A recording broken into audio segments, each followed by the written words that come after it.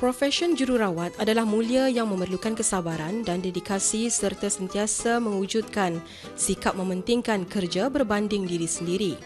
Dalam usaha untuk mencapai tahap profesionalisme yang tinggi, kita juga tidak harus lupa bahawa layanan dan jagaan yang baik dan profesional adalah satu tugas yang harus diingati dalam kejururawatan. Baru-baru ini diadakan pelancaran kursus mengemaskini kejururawatan kebangsaan yang pertama bagi jururawat dan bidan di Hospital Suri Seribegawan, Kuala Belait.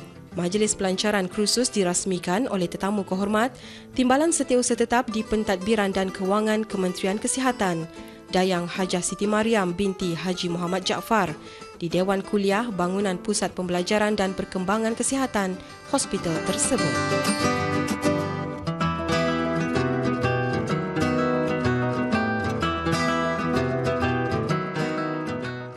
Kursus tersebut merupakan program pendidikan secara berterusan yang bertujuan untuk mengulang kaji dan meningkatkan pengetahuan asas kejururawatan, kecekapan dan kemahiran klinikal.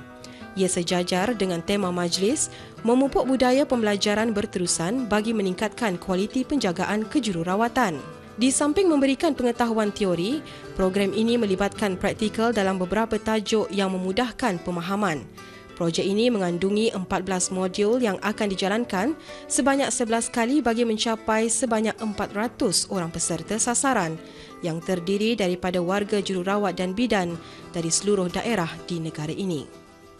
In order to encourage individuals to take greater responsibility for their own learning and development, employees should be supported both financially and with release time to participate in voluntary development program both within and outside of normal working hours. These learning activities can increase workers' self-confidence and instill enthusiasm for additional learning. Setiap satu sesi mengambil masa selama tiga hari.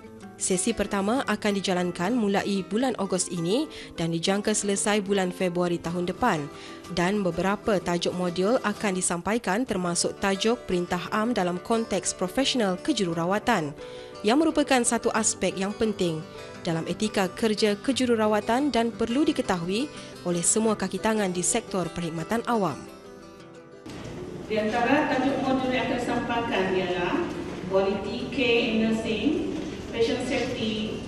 effective communication, evidence-based practice in nursing, code of ethics in nursing and code of professional conduct, occupational health and safety at workplace, infection prevention and control in health setting, effective hand hygiene, safe drugs administration, movement and manual handling, aseptic technique, management of resuscitation trolley, Pegawai jururawat tingkat khas Dayang Hajah Mariah binti Haris dalam taklimatnya menjelaskan, kerjaya jururawat kini sudah dianggap sebagai kerjaya profesional yang memerlukan kelayakan yang tinggi. Sikap bertanggungjawab dan dedikasi dalam menjalankan tugas kepada pesakit tua atau muda, kanak-kanak atau dewasa yang kurang upaya dan berbilang bangsa amatlah penting sekali. Di samping mempunyai pengetahuan, jururawat juga harus memupuk sikap pemedulian kepada pesakit mempunyai perasaan empati dan memberikan sentuhan kemanusiaan serta perhatian kepada pesakit.